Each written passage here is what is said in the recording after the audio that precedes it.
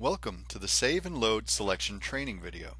The purpose of the Save Load Selection list is to save lists of members and or material either by selection from the model, from selection lists, or by manually created lists.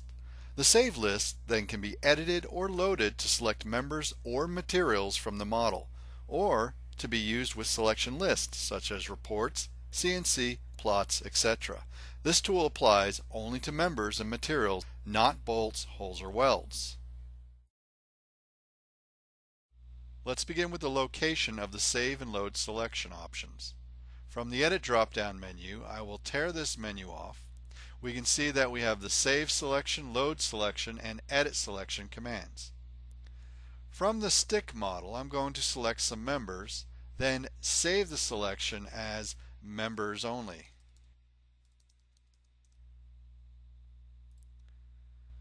Let's go ahead and clear and then load that selection list that we've just created.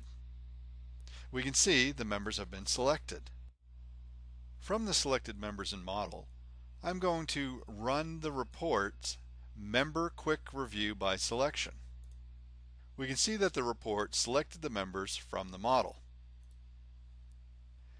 After clearing the selection, I'll go ahead and run that same report again.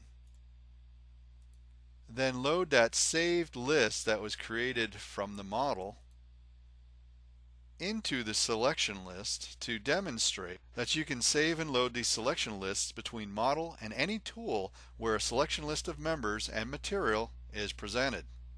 Using the edit selection we can see that the members only list contains the member number and the piece mark. Using the delete option, I'm going to go ahead and remove the vertical brace and the joist from this list. After loading this members only list, we can see that the remaining members on the list have been selected in the model. Notice that the joist and the knee brace have been removed from that selection. I will remove from the model some of these members that are selected and then go ahead and save the selection under the same name.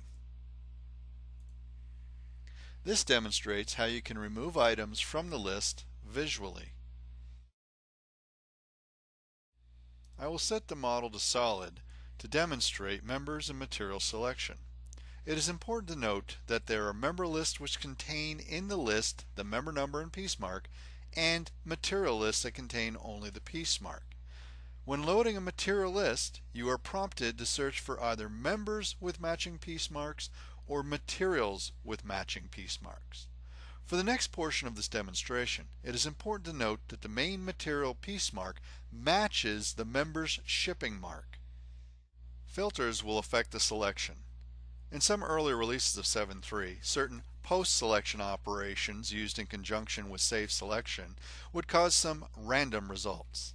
Let's set this filter here to material and select the beam and chevron braces main material with crossing and the column gussets.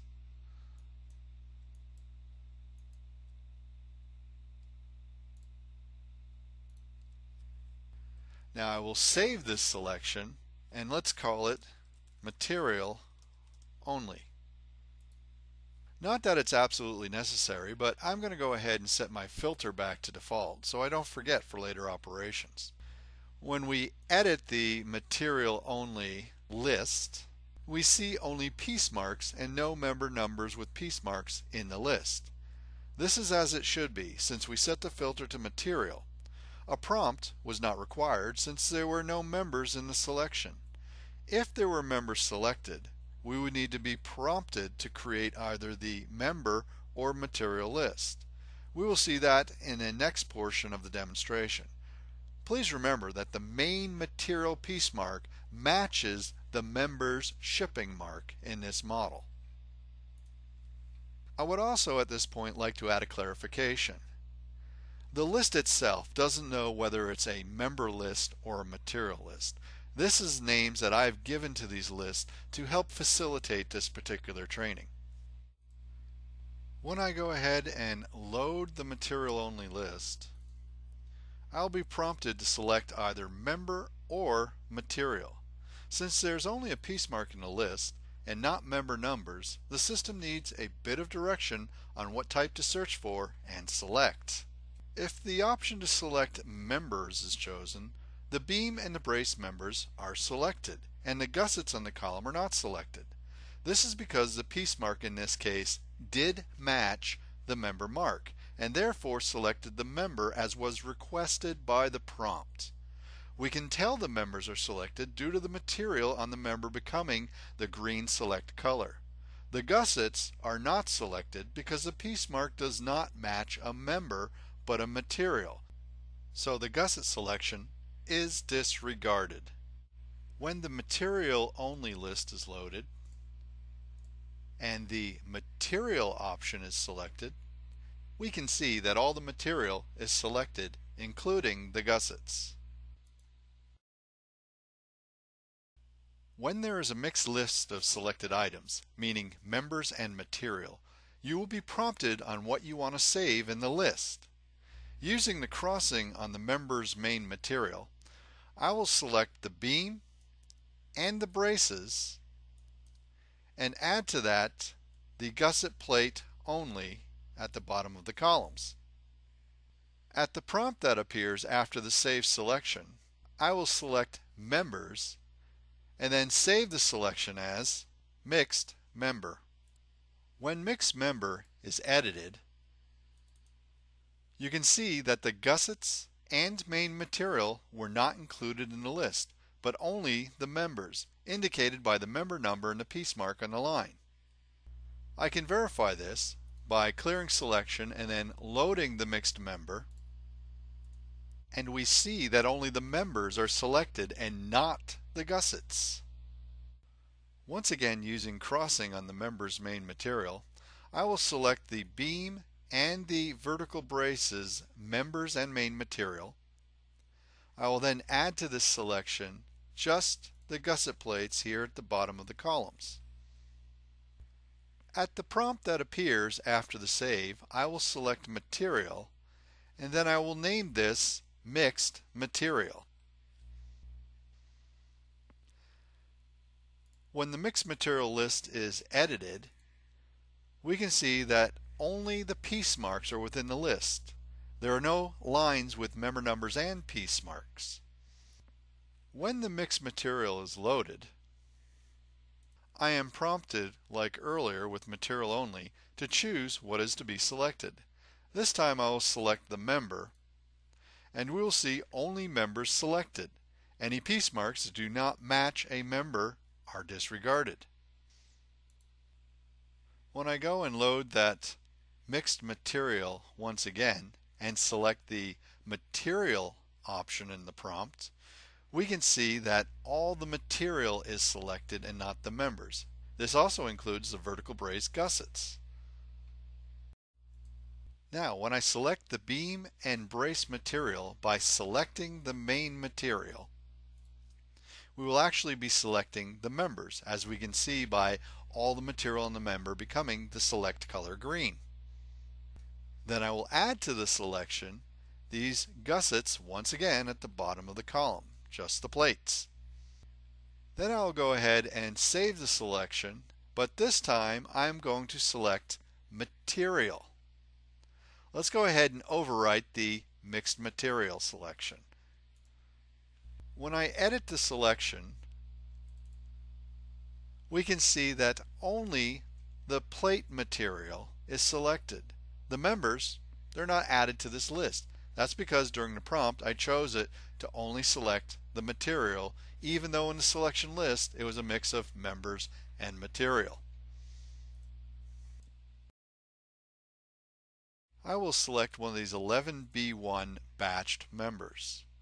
Let's go ahead and save this selection and name it batched member.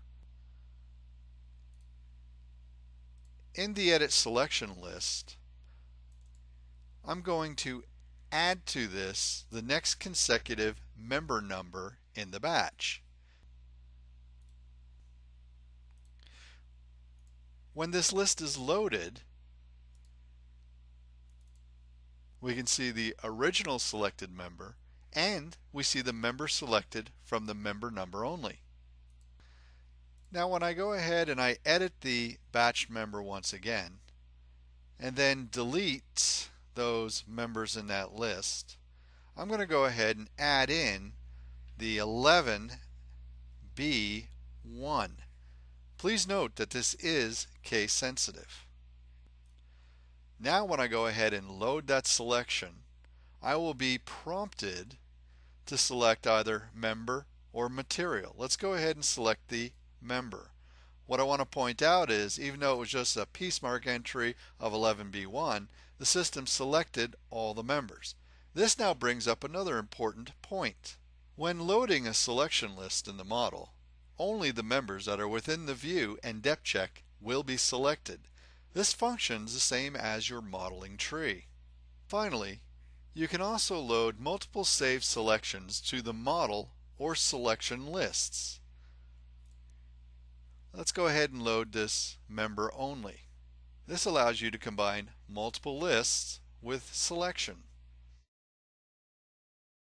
In conclusion, SDS2 will prompt the user when direction is required for selection during saving and loading. The key is the member number in front of the piece mark, which determines what I call the member list from the material list, which requires prompting.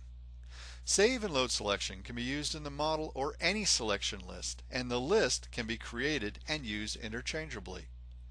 Save selection will allow you to avoid the redundancy of having to remember or continually input lists of piece marks or member numbers for different operations within the system.